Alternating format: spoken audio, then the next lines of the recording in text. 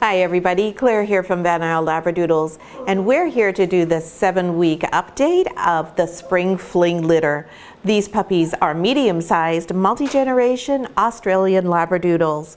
These puppies have all been allocated to their families, so today we're going to give you a little bit of information on what each of the puppies has achieved in the last week and what we're working on with them. So right here we have Purple Collar, and Purple Collar's name now is Ollie. Hey Ollie, how you doing handsome? Ollie is a delightful little fellow. He is such a willing puppy. He really enjoys his learning exercises and he's been doing really well with those. So Ollie's part of our Head Start program and he's going to a family with one child and so we have been working with him to get him integrated a bit more with children and responding to them in a really nice positive manner and we've also been working with him this past week on wearing a collar. We will start with his leash work later this week. And then we have also been having him in the house eh, on his own so that he's used to being away from his litter mates. He also is doing really well with his crate training. When we put Ollie in the crate on his own, he lies down and he goes to sleep. It's wonderful. He has been one of the easiest dogs we've ever had to crate train. He's really doing well with that. And you'll notice how Ollie has really strong eye contact now, and that's because we've been working with him on a one-on-one -on -one basis and getting him accustomed to looking to us for his cues as opposed to working with the other puppies in the litter for his cues. So that's Ollie. He's doing just great. There you go, buddy. Next we have Scout. Scout is green collar boy. Whoopsie, there we go. There we go. Helps if I look what I'm doing. Here we go, Scout.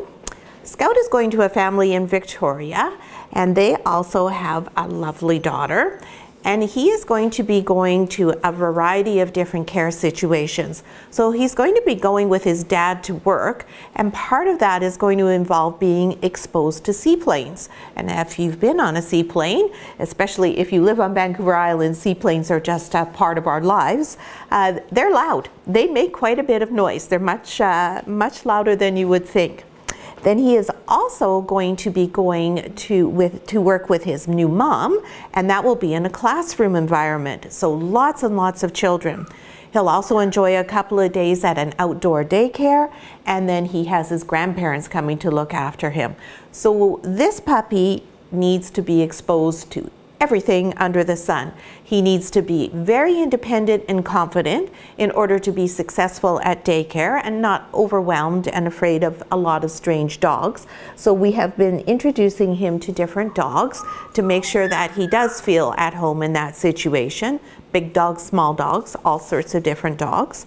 Uh, we've also had him out with our lawn tractor and our gas-powered weed whacker so that he's exposed to the loudest sounds that we're able to create here. We don't have our own seaplane, darn it, but uh, we, we do get him up close and personal with those sounds. Uh, Reynolds also had him on the lawn tractor riding with him, so he's used to the different movements and the sound coming from different areas around him. Now, Scout has always loved children. It's one of the reasons he was selected for his family. And he is continuing to be exposed to children, but he has that down pat. That is something he's very good at. And you'll see how he's sitting for me right now. He's very good at knowing, yep, it's time to get out and rock and roll and have a really good time playing. He loves to play with his litter mates, which is going to stand him in good stead for when he goes to daycare. But he also is very happy to sit and be stroked. So this is going to be good when he's in the classroom and needs to be quiet, and also when he's with the grandparents who might appreciate having a slightly quieter dog. So we're really proud of all of the things that Scout has been doing. And uh, he's working on his leash work as well and just doing great at that. So that's Scout. Next we have here, we'll just do the exchange. This is Chakra. Chakra is not part of our Head Start program. So Chakra is having her experiences in a group setting. The difference between Head Start, uh, being in the Head Start program and not is if you're in the Head Start program, we do individualized things that are specific to the puppy's circumstances with their new family, um, but we still do a lot of work with the puppies even if you're not in our Head Start program. So Chakra is going to go and live with her new mom and be in her law office. And her mom already has a puppy whose name is Bodhi.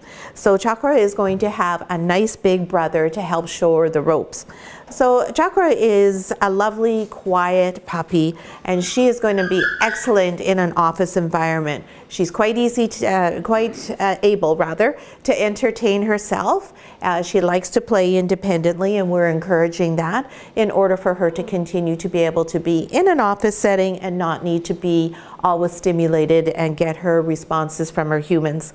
She's doing really well in her crate training as well. She was uh, in for some crate training this morning and it took her only about eight minutes to settle down and she wasn't protesting all that much. And she's had many sessions where she just went right to sleep. So we think she's probably going to be pretty successful at that in the evenings for her new mom. So that's Chakra, our little yellow collar girl. Next, we have Lima. Hello, Lima. Hello, sweetheart. Lima is silver collar girl. And Lima is going to live in Courtenay. And Lima is going to be one lucky puppy because she has two parents who are at home all of the time. What more could a doggy ask for?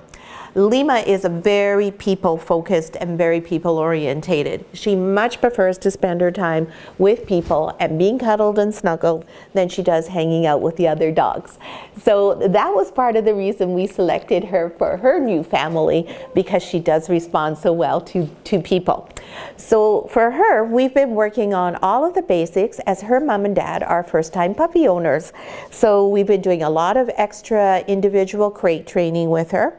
And we have good days and bad days with that. Some days she is not fond of the idea, and other days she's fine with it. So what we do when she's not happy to, to have her crate training is we adapt the situation. We leave the door open in the crate and we make the X-Pen just around a very small area for her so she doesn't feel that she's stuck in the crate and she can come out on her own. That always leads to the next experience being more positive. And we just keep building on those positives. But anytime we have a time when she's not feeling it's a positive experience, we go back and we give her more freedom. That helps her to adjust. And that's a really good rule of thumb whenever you're training your puppy for anything you want to do with them. Otherwise, Miss Lima is a star. She loves to play, she's very easygoing, she likes everybody, and she just can't wait to meet new people all the time. She's fine away from her litter mates, just couldn't care less if she's out there on her own, as long as she has some people. So that's Lima.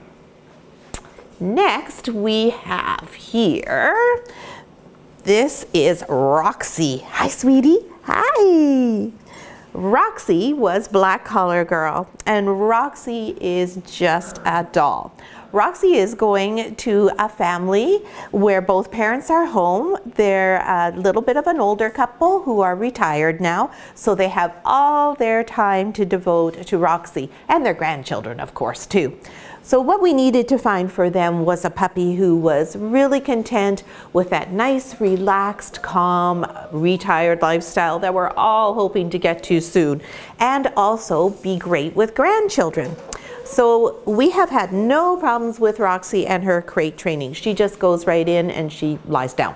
That's it. So she's been really easy to work with on that and we really hope that continues when she goes home. Hi, baby girl.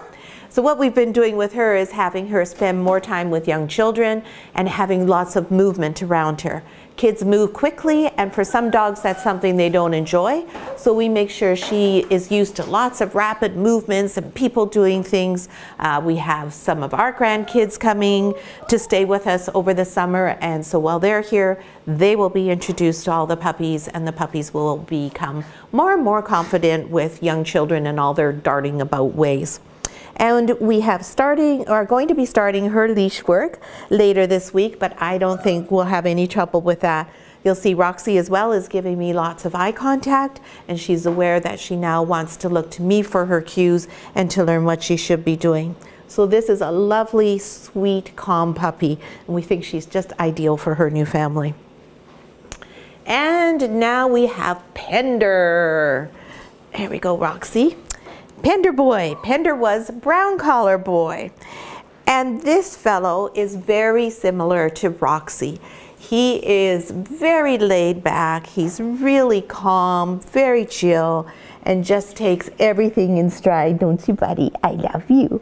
He too is excellent in his crate. He goes into his crate and he generally just lies right down. Not always, but generally speaking. So similar to Lima, if he's having a time when he really is objecting to us putting him in the crate, we open the door, we give him a tiny bit of freedom, and then we go back and try with the door closed again because we don't want him to become fearful of the crate or learning to dislike the crate. So Mr. Pender has uh, uh, also a very nice young girl that he's going to be with, and he's also going to go to work with his mom. And his mom works in a senior center in tertiary care. And so we need a dog who's very calm, who's intuitive and understands when he's at home and his family want to go out for a walk and do some play with his with his at-home little person that's how he needs to be one way and then when he goes to the senior center he may be required just to be very quiet and sense what the person that he's interacting with needs Labradoodles are known for their high level of intuition and their therapy tendencies. And normally they're very good at sizing up a situation, understanding a person's needs, and behaving that way.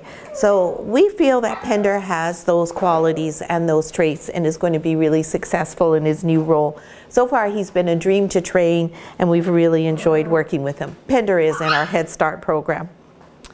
Next, we have our little monkey.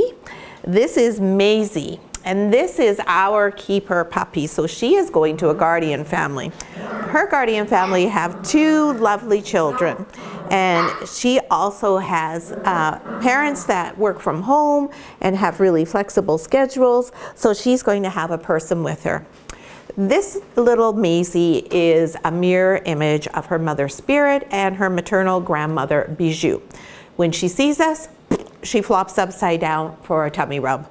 That is what Bijou and Spirit also do all the time. She is a people dog. She, and you can see, she'll probably crawl up me. She'll establish really strong eye contact. And this is a strength and it's also a weakness because at the moment she dislikes very much if she can't see someone. She does not like to be on her own and she does not like going in her crate yet. So we are working very hard on making the crate a more fun place for her. Uh, we're making little tiny baby steps or little puppy steps, I guess. Uh, she is a Labradoodle, so she's smart and she knows how to play her people and she is trying to do that for all she's worth. So she's here with us for a little bit longer than the other puppies. We have her for an extra month. So we're just taking things really slowly with our little Maisie girl to be sure that she's going to be successful successful when her family does come back from their vacation. So that's our little troublemaker Maisie. And here we have Red Collar Girl. Red Collar Girl's name is Jolie and she is going to Germany. So she is a breeding prospect dog, and she too is going to be here with us for a while. She'll be here with us till the uh, third week of August. Uh, when you send a dog overseas, there's quite a few different requirements. Um, one of them is that they have to have a rabies shot. And then after they have that rabies shot, it's another three weeks until they're able to enter the foreign country. So that's why we get to be the lucky ones and keep her for longer. So we're working with her on all of the basic things with a really strong emphasis on confinement.